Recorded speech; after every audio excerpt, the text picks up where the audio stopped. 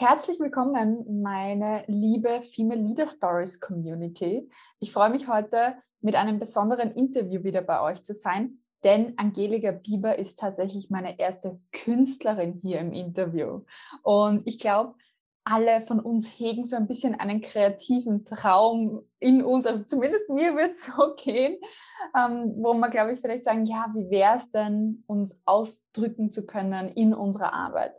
Die Angelika, die hat tatsächlich diesen Sprung geschafft, als Künstlerin durchzustarten und ein Business draus zu gründen.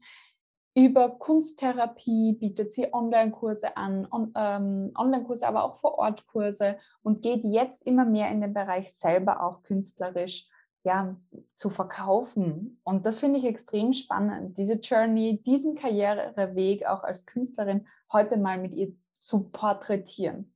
Herzlich willkommen, Angelika. Hm, hallo Katja. Ich freue mich, dass du da bist und ich habe es ja schon kurz erwähnt. Äh, du selber bist Künstlerin und hast ein eigenes Unternehmen gegründet. Was machst du da genau? Wie funktioniert das bei dir? Also ursprünglich, ähm, ich bin ja studierte Designerin, habe als Grafikerin ja angestellt gearbeitet und irgendwann mal kam so in einem in der mittleren Lebensphase der Wunsch, äh, so eigenständiger und sinnhafter zu arbeiten. Und ähm, ja, da habe ich eine Weiterbildung gefunden zur Kunstpädagogin und vor ungefähr 15 Jahren. Und seitdem habe ich gestartet, also mit Kursen. Ich habe Angebote für verschiedene Bildungsträger bei mir im Atelier. Also das war am Anfang auch sehr breit gefächert. Also es waren, ich habe äh, mit, mit Schulen Projektarbeit gemacht. Ich habe mit verschiedenen Firmen zusammengearbeitet. Also mit einer Firma arbeite ich immer noch zusammen. Die bieten Malreisen an und aber auch sehr viel bei mir im Atelier. Also Zielgruppe von Kinder bis Erwachsenenbildung war das mhm. mehr oder weniger. Das hat sich jetzt so ein bisschen verändert. Ich habe das immer weiter gestrippt, sage ich mal. Also die, die Kinder und die Jugendliche, irgendwie bin ich dem dann irgendwann mal entwachsen. Äh, da ist ja der Online-Bereich dazugekommen, meine Online-Angebote. Und ich hatte das Gefühl, ich muss so eine Grätsche machen zwischen diesen verschiedenen Polen. Und so habe ich mich dann mehr und mehr auf die Erwachsenenbildung fokussiert, habe parallel dazu natürlich immer sehr viel selber gemalt. Mhm aber durch Veröffentlichungen und auch Videos und also ich habe auch sehr häufig gemalt, um etwas fertig zu, also um für etwas zu malen. Mhm. So, und da bin ich jetzt gerade aktuell dabei, dass ich mein Business so ein bisschen verändere, weil ich habe gemerkt, ich kann mit meinen Bildern auch Freude zu den Menschen bringen. Also durch meine Kurse natürlich auch, das habe mhm. ich die mhm. letzten 15 Jahre gemacht aber auch meine Bilder können glücklich machen. Und, äh, und ich bin sehr glücklich, wenn ich male. Also es ist ja für alle eine Win-Win-Situation. Und ähm, ja, so habe ich jetzt begonnen, das so ein bisschen mich mehr als Künstlerin zu vermarkten. Mhm. Also das eine ist, den Menschen es beizubringen, sich auszudrücken und zu malen, um es den anderen auch zu zeigen. Und das eine ist auch, um dich selber als Künstlerin dann auszudrücken. Und das macht dann Freude in doppelter Hinsicht.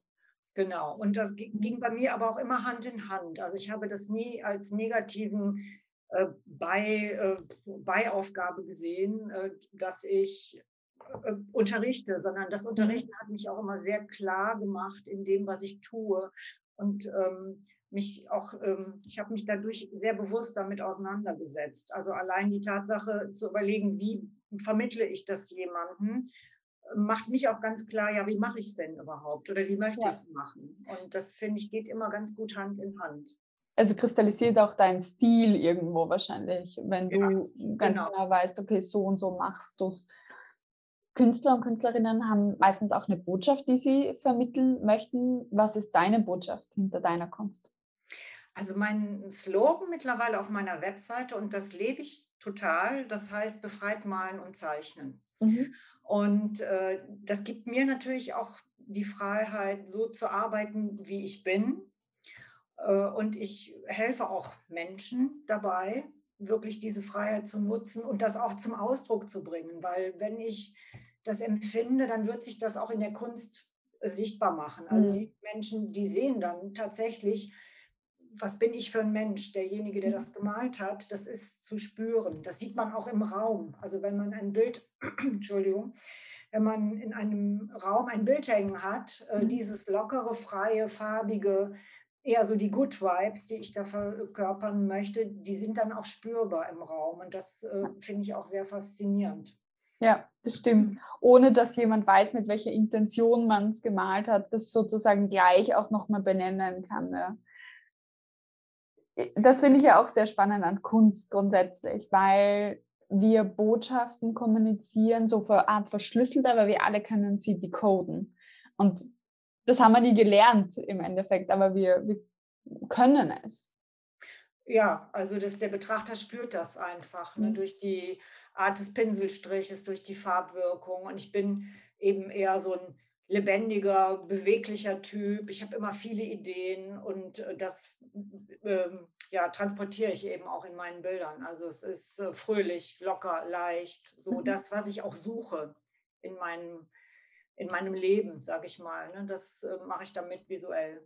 Ja, Lockerheit, die du suchst in deinem Leben, ist vielleicht auch ein guter Punkt, um mal an den Ausgangspunkt zu gehen. Also du hast gesagt, ich habe mir alles erarbeitet, ähm, was ich heute habe. Wie bist du darauf gekommen, Design zu studieren, Grafikerin zu sein? Wie war der Weg für dich auch dorthin bis, bis heute? Was hat dich hierher gebracht? Ähm, ja, also ich hatte erstmal äh, nur eine mittlere Reife in der Tasche und äh, ich habe auch so zwischen, bin so zwischen verschiedenen Berufsideen geschwankt und es war aber ganz klar, so das Gestalterische, das ist einfach meine Neigung, das liegt mir, das kann ich gut, das möchte ich. Und ich habe ganz klassisch mit einer Ausbildung angefangen als äh, Schauwerbegestalterin. Da war mir aber sehr schnell klar, das möchte ich jetzt nicht mein Leben lang machen. Dafür war ich auch wahrscheinlich zu ehrgeizig. Dann habe ich äh, Fachabitur für Gestaltung gemacht und dann habe ich Design studiert und eigentlich sollte es zuerst Grafikdesign werden. Und da hatte ich also einen Lehrer in dieser, äh, Fachober in dieser Fachabitursklasse, der sagte, ja, also wenn ihr als Grafiker arbeiten möchtet, dann müsst ihr schon super gut sein. Ihr müsst wirklich ganz, ganz überragend sein, sonst habt ihr keine Chance. Und dann dachte ich so, naja, so super gut bist du wahrscheinlich nicht, so mit 19. Und dann habe ich Textildesign studiert als Schwerpunkt. Das Studium war auch wirklich super. Es hat sehr viel Spaß gemacht, war sehr experimentell. Also es war auch zum Teil die Grundlage für das, was ich jetzt heute mache mittlerweile. Also es hat alles seinen Sinn. Und äh, ja, dann habe ich aber als Textildesignerin damals keine Stelle gefunden, weil hier in Deutschland war die Textilindustrie wirklich im, im Abschwung. Also das wurde alles äh, nach Südostasien verlagert. Das war damals ganz aktuell der, der Status. Und dann habe ich nachher als Grafikerin einen Job bekommen. Also ich habe eine Weiterbildung gemacht und habe wirklich 15 Jahre lang fast als Grafikerin gearbeitet, obwohl ich einen anderen Schwerpunkt studiert hatte. Es war also auch nie ein Problem. Im Nachhinein habe ich gedacht, ich hätte mir damals, jetzt bin ich klüger, nicht von irgendjemandem einreden lassen sollen, was jetzt, ob ich gut bin oder nicht, oder, oder was da die, ähm, ich denke, der war selber frustriert. Was du kannst und was nicht. Und mhm. ich hab, er hat das dann auf uns äh, übertragen. Mhm. Aber es hat ja nicht geschadet. Also ich habe da eine kleine Schleife gedreht und ich habe dadurch ein wahnsinnig breit gefächertes Wissen. Vielleicht hätte ich das gar nicht so, wenn ich geradlinig gegangen wäre. Ja. Ja, und dann hatte ich eben noch einen äh, Break. Äh, praktisch so in Mitte 40 äh, durch persönliche Umstände bin ich ja dazu gekommen, dass so mein, mein Leben so ein bisschen ins Wanken geraten ist und dass ich mich wirklich gefragt habe, was machst du jetzt mit, mit also beruflich war ich auch nicht mehr hundertprozentig zufrieden als Grafikerin so angestellt. Also ich merkte, dass ich so eine innere, innerliche Distanz dazu bekam mhm. zu dem Job, zu den Kunden es hat mich, hat mich nicht mehr so mit Freude erfüllt und ich glaube, ich bin auch jemand, ich kann es dann entweder nur ganz oder gar nicht. Nennt man innerlich gekündigt. Ja, so. Also in dem, und dann hat sich eben diese Weiterbildung ergeben durch einen Zufall. Wirklich bin ich da irgendwie dran gekommen und ich wusste sofort, das ist es. Und ich habe es auch, es hat mir wirklich, das war meine Wendung. Also es hat mir wirklich, ich hatte früher auch schon mal überlegt, mich als Grafikerin ähm, selbstständig zu machen. Aber ich glaube, es wäre auch nicht der richtige Beruf so im Detail gewesen. Aber mhm. diese Arbeit mit Menschen, dieses Unterrichten und auch Konzepte erarbeiten. Also es ist wirklich auch ein sehr, ähm, sehr, sehr freies, äh, kreatives Arbeiten und es ist ähm, sehr breit gefächert. Also ich texte ja, ich äh, drehe Videos, ich blogge, ich, ähm, also es sind ja wirklich ganz viele Medien, die ich da bediene und das finde ich einfach super, weil es bleibt für mich spannend. Also ich war früher dann auch schnell gelangweilt. Also wenn ich äh, wenn ich irgendwas beherrsche, dann, dann, dann denke ich so, ja super, das kannst du jetzt, was kommt jetzt? Und äh, so als Selbstständige kann ich mir die, also deswegen, ich habe ja meinen Fokus auch immer wieder so ein bisschen verändert. Es kommen neue hm, Bereiche dazu, neue Medien und äh, dem stelle ich mich dann und ich lerne gerne. Von daher ist das optimal. Du erinnerst mich an ein Gespräch, das ich mit einer Klientin erst letztens geführt habe. Sie musste sich entscheiden zwischen einer Geschäftsführungsposition in einem kleinen Unternehmen, kleinem Team und einem großen Konzern. Und dann sagt sie zu mir, naja, aber wird mir nicht langweilig mit dem kleinen Team als Geschäftsführerin? Und ich so, im Endeffekt wird dir als Unternehmerin und auch als Geschäftsführerin von einem kleinen Team bist du da auch sehr, sehr stark drin nie langweilig, weil du hast immer die nächste Hürde zu meistern. Du hast immer etwas, was du neu gestalten kannst, neu angehen kannst. Das macht das Unternehmertum ja so spannend und schrecklich auf der anderen Seite zugleich, dass du halt eben auch immer wieder tun musst und äh, innovieren musst, damit du weiter am Ball bleibst. Ja, also das ist auch eine Frage natürlich des Naturells. Ähm, als Grafikerin hatte ich auch zu dem Zeitpunkt mit Mitte 40 das Gefühl, ah, diese Welt ist so schnelllebig, die ganzen Programme, du musst permanent dranbleiben. Da habe ich das eher als Bürde empfunden. Jetzt in meiner Position finde ich das super spannend, weil ich suche mir das ja selbst. Also ich suche mir genau selbst aus, welche, äh, welche Medien ich bediene. Also ich habe auch überlegt, vielleicht mache ich doch noch mal einen Podcast. Auch wenn das jetzt mit visueller Kunst natürlich irgendwie schwierig ist, äh, zu, also äh, so rüberzubringen vielleicht. Aber vielleicht gibt es ja auch Möglichkeiten, darüber nachzudenken. Und also ich kann das ja alles selbst äh, entscheiden, wie ich das so mache. Also mir legt das keiner, sagt ja, du musst das jetzt machen, weil sonst bist du weg vom Fenster, sondern ähm, ich überlege ja, wie kommst du wieder für dich weiter und wie kannst du neue Ziele erreichen? Und das ist ja eine ganz andere Geschichte. Ich finde den positiven Zugang, den du da schilderst, extrem gut, weil manchmal habe ich zumindest das Gefühl, man muss ja alles machen, ja, damit man on vogue bleibt ähm, und sozusagen dabei ist. Und ich habe auch dieses Jahr schon eine harte Entscheidung für mich äh, getroffen, dass ich gesagt habe, ich mache kein Instagram mehr.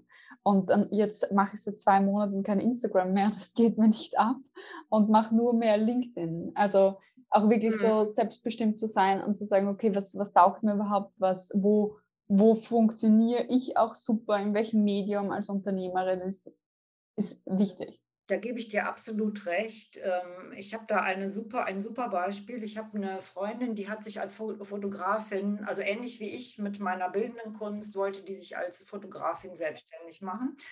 Und der haben alle Leute gesagt, äh, sie muss Netzwerken, Netzwerken, Netzwerken. Die war jeden Abend auf einer Netzwerk-Live-Präsenzveranstaltung. Nach einem halben Jahr war die dermaßen durch und hat das Ganze geschmissen, weil sie es körperlich einfach überhaupt nicht aushalten konnte.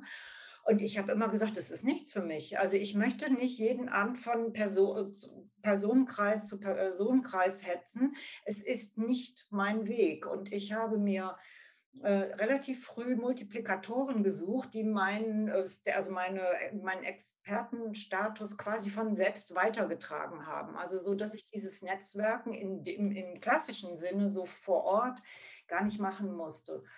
Konnte ich mich entspannt zurücklegen, weil ähm, ich hätte das gar nicht durchgehalten. Ich bin gar nicht der Typ, der dann jeden Abend irgendwie auf Achse sein möchte. Und ich habe auch, in, ich bin da so ein bisschen rebellisch wenn mir andere Leute meinen, sagen zu müssen, wie ich was zu machen habe, dann äh, ist ja schon, dann habe ich schon ein Problem. Ähm, und ich prüfe da wirklich sehr gut, kann ich das gebrauchen oder nicht? Passt es zu mir? Ist das mein Medium? Habe ich da Lust? Habe ich da überhaupt hab Spaß daran, mich damit auseinanderzusetzen? Weil dann geht das ja auch mehr oder weniger. Dann knie ich mich da auch rein, dann äh, interessiert mich das, dann ist das, also in meinem Beruf ist ja manchmal die Schwierigkeit, ähm, das ähm, Hobby oder die Neigung vom Geschäft zu trennen. Und das ist so miteinander verquickt, ist auf der anderen Seite natürlich auch die Gefahr, dass man dann manchmal über seinen Level auch hinweggeht, einfach weil man es nicht so genau trennen kann. Was ist es denn jetzt genau? Ne, ist es jetzt Freizeit oder ist es jetzt äh, äh Business? Aber ähm, ja, äh, aber genau deswegen ähm, macht es mir so Freude. Also ich kann das gar nicht so, für mich ist das dann auch teilweise keine Arbeit. Ja, also das ist ja das, was, glaube ich, ganz viele Menschen anstreben, eine Arbeit, die, die sich nicht anfühlt wie Arbeit. Und das, was du beschreibst, ist ein sehr intuitiver Zugang, würde ich es jetzt einmal nennen. Also das hat sehr viel damit zu tun, in dich hineinzuhören und dich wirklich zu fragen, will ich das oder will ich nicht. Also so mehr die eigene Stimme wahrzunehmen als die Stimme von außen. Und das ist tatsächlich etwas, das muss man voll trainieren. Also das ist nichts, was man mh, mm, so ganz natürlich hat, weil die Welt draußen so laut ist. Meistens. Ja. Also meistens hat jeder einen guten Ratschlag darüber, was du machen solltest, wie du es machen solltest. Und da das zu kultivieren, die eigene Stimme zu hören, ist, glaube ich, schon ganz ein wichtiger Erfolgsfaktor. Ja, da gebe ich dir recht. Das ähm, hat aber auch etwas, also erstmal natürlich mit dem Naturell zu tun. Es hat aber auch etwas äh, damit zu tun, wie bekannt du wirst. Also mhm. ich hatte ja eben auch geschildert, am Anfang war ich ja relativ breit aufgestellt mhm. und habe natürlich geguckt, dass ich Aufträge bekomme. Also da habe ich auch mehr oder weniger alles genommen, außer es Ist hat so. gar nicht in den Kram gepasst, aber ja. ich habe eben schon relativ häufig Ja gesagt. Und dann wurden die Anfragen immer mehr. Ich war immer ausgelasteter, auch bis hin zu, oh Gott, mir ist jetzt gerade alles viel zu viel. Und äh, dann spätestens dann äh, ist natürlich an der Zeit, wirklich nochmal zu gucken und auszuwählen und auch das Nein sagen zu üben. Und äh, manche Leute können es dann gar nicht verstehen, dass ich sage, du, das tut mir leid, das ist nichts für mich, äh, das liegt mir nicht, das möchte ich nicht, das ist eine andere Richtung, da will ich gerade nicht hin. Äh, ist auch manchmal unverständlich für das Gegenüber, aber für mich ist es total klar. Also, und ich habe dann auch häufig ähm, überlegt, wenn ich die Wahl zu treffen hatte, wächst daraus etwas? Kommt darüber etwas? Ist das eine einmalige Geschichte? Habe ich Spaß dran? Dann mache ich das. Wenn ich sage, okay, äh, habe ich noch nicht so dran gedacht, aber könnte ganz interessant sein. Und da kommt etwas zurück. Also das heißt, ich habe dann wieder ein, ein Multiplikatoren oder ich bin irgendwo verlinkt, vernetzt oder darüber könnte dann was Neues kommen. Dann stellt sich da auch weniger die Frage. Also da kann ich dann auch schon mal Ja sagen. Und so überlege ich dann, ich muss natürlich immer gut mit meinen Ressourcen, also mit, meinen, mit meiner Energie haushalten. Und ähm, da muss ich schon gut prüfen, was schaffe ich denn überhaupt. Und nur wenn ich das mache, kann ich den Job auch wirklich richtig gut machen. Mhm. Weil wenn ich, äh, egal was ich tue, wenn ich, äh, wenn ich zu äh, eng bin, dann kann ich auch nicht gut texten, dann habe ich auch keine Ideen, weil ich einfach nur im Hinterkopf habe, ah, ich muss jetzt getaktet alles abarbeiten. Aber gerade wenn du in einem kreativen Business unterwegs, äh, unterwegs bist, dann brauchst du diesen Freiraum. Also du brauchst wirklich Luft, du brauchst Platz und dann stellst du neue Verknüpfungen plötzlich her. Also es ist so, das hört sich jetzt vielleicht irgendwie komisch an, aber es ist wirklich so ein, äh, dann kommst du so in den Flow, du siehst plötzlich Dinge in einem neuen Zusammenhang und weißt, ah, das könnte eine Idee sein. Und äh, die, das kommt dann aber. Und wenn du zu eng getaktet bist, unterbindest du das im Grunde genommen. Das sind ja. so Dinge, die muss man dann wirklich auch lernen. Oder auch wenn man jetzt gerade nicht kreativ, wenn, wenn man keine Ideen hat also es ist ja auch ein häufiges Thema, gerade in dem kreativen Business. Oh, ich muss jetzt texten, ich muss abliefern. Oh Gott, mir fällt überhaupt nichts ein. Mhm. Also dann ist ein Schritt zurücktreten eigentlich das Beste, was ich tun kann. Einfach den Blick wieder weiterzumachen. Ne? Mhm. Ja, definitiv. Also du sprichst auch von, von der Langfristigkeit von den Tätigkeiten, die du, du annimmst oder auch nicht. Also wenn was daraus entsteht, dann macht es mehr Sinn, wenn es nachhaltig sozusagen ist. Auch. Genau. Mhm. Also ja, oder ich muss für das Thema im Augenblick total brennen. Dann kann das auch eine Augenblick, dann kann ich mir den Luxus ja äh, leisten. Genau, wenn es Spaß macht. Wenn es Spaß macht, dann ist was anderes, das ja. geht dann auch leichter. Genau. Das, das zählt dann mehr in die Hobby-Kategorie schon wieder, ja. Also wo man sich einfach dafür interessiert. Genau. Ähm, Habe ich auch immer mal wieder so, dann interessiert mich eine Methode so sehr oder, und dann lese ich im Urlaub ein Buch nach dem anderen und die anderen Menschen würden sagen, warum liest du Fachliteratur in deinem Urlaub oder so und ich so, weil es das Spannendste ist, was ich lesen kann. Ja. Also einfach nur, weil es mir einfach so sehr taugt und ich schlafe ein, wenn ich einen Roman mittlerweile lese, weil mich alles andere so viel mehr interessiert. Aber gut, das ist so mein eigenes Thema. Ähm, Angelika, Angelika, du hast jetzt auch gesagt, so dieser Raum auch zu haben, um was Neues zu entdecken. Und genau das ist ja das Schwierigste am Anfang der Selbstständigkeit eigentlich. Du hast auch gesagt, äh, man nimmt eigentlich alles mal an, man ist ziemlich durchgetaktet. Was lä lässt man weg, was nicht? Wie war das für dich zu gründen eigentlich? Auch in einem Bereich, wo man jetzt vielleicht, wenn man anderen Stimmen glauben würde, naja, kann man mit Kunst Geld verdienen, Kunstpädagogik, ja, also wer zahlt für das? Ja, wie bist du mit diesen Themen auch umgegangen, Ängsten vielleicht auch? Also mir war, ähm, ich habe ja ähm, früher auf der anderen Seite gestanden. Ich habe ja als Grafikerin, Mhm. der war ja sehr technisch, der Job, aber ich habe ja auch da immer ähm, gemalt und gezeichnet. Und ich habe selber als Teilnehmerin Kurse besucht. Mhm. Und äh, ich habe ja vorhin auch gesagt, ähm, also ich habe mir Vorbilder gesucht und ich war mal bei einem Künstler und äh, der immer ausgebucht war. Der hat also Bücher veröffentlicht und über dieses Buch, äh, welches ich damals gekauft hatte, bin ich dann auch zu ihm gekommen und habe da Mhm. wirklich Schwierigkeiten gehabt, einen Platz zu finden. Also er war immer voll.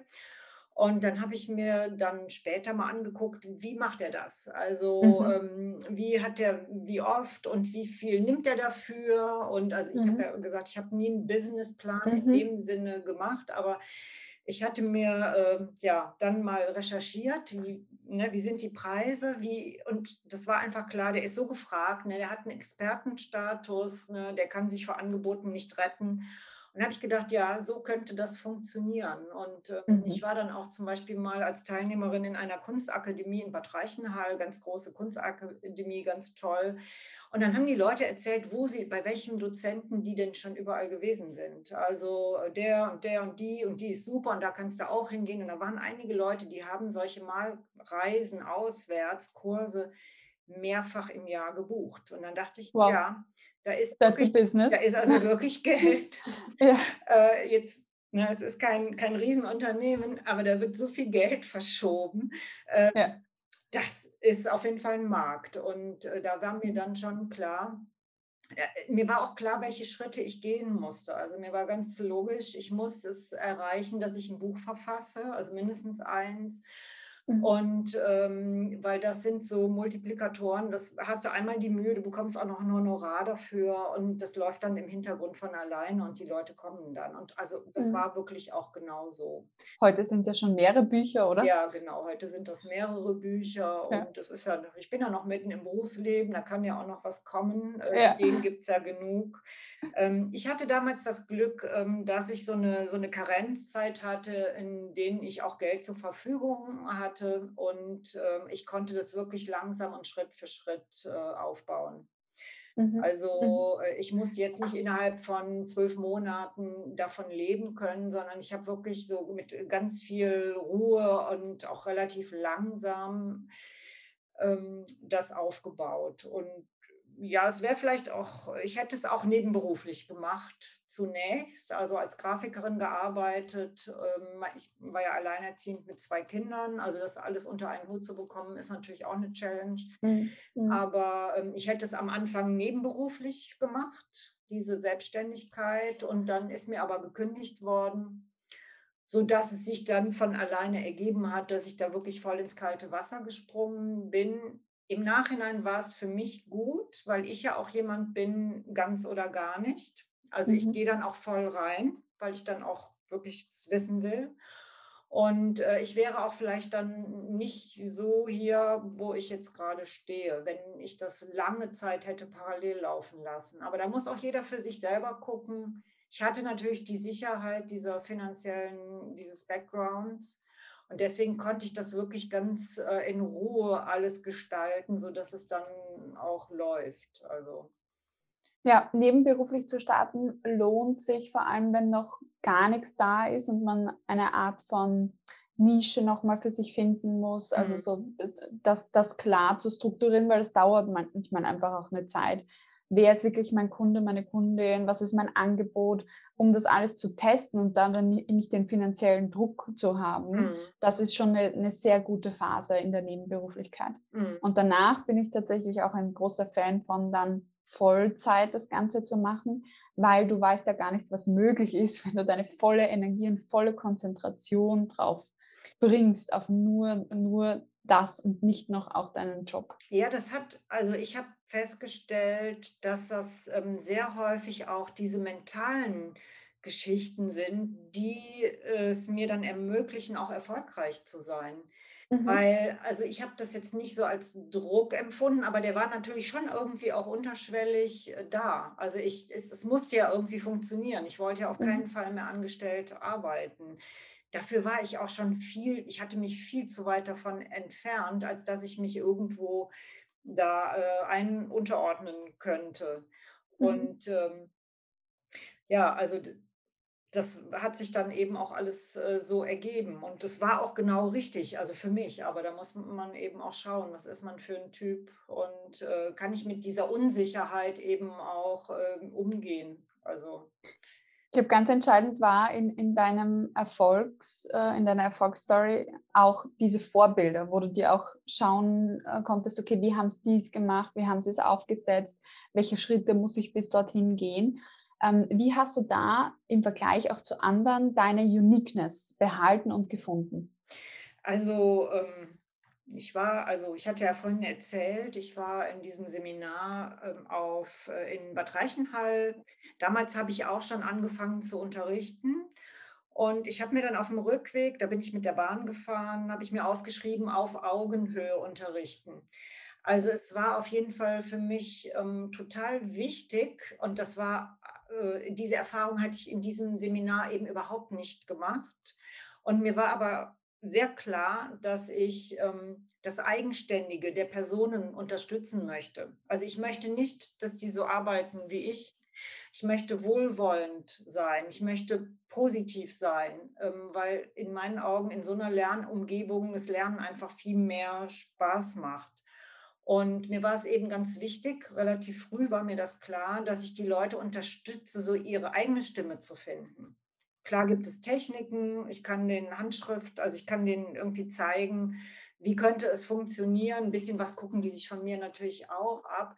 Aber ich, das hört sich jetzt wieder so gestellt an, ähm, ich hole die Leute da ab, wo sie stehen und wo sie begleite sie ein Stück, wo sie hin möchten. Und äh, das ist mir eben total wichtig. Und das habe ich sehr häufig nicht erfahren. Und äh, das unterscheidet mich auch. Also, dass ich sehr individuell berate und ähm, eben helfe, zu der eigenen Stimme künstlerisch zu finden. Dann kommt es nämlich zu dieser Befreiung. Genau, genau. Also die, die, arbeiten dann nicht so wie Person XY, sondern es ist wirklich mit dem eigenen Selbst verknüpft. Und äh, ja, dementsprechend authentisch sind natürlich dann auch die Arbeiten und die Leute sind dann auch wirklich super dankbar. Also äh, ich habe äh, die ein Stück begleitet, sehr wertvoll und äh, die, die erleben dann das erste Mal, ah, so könnte es auch funktionieren. Hat dir die heutige Folge gefallen? Dann klicke beim Female Leader Stories Podcast auf Abonnieren, um jede Woche eine inspirierende Karrierestory zu hören.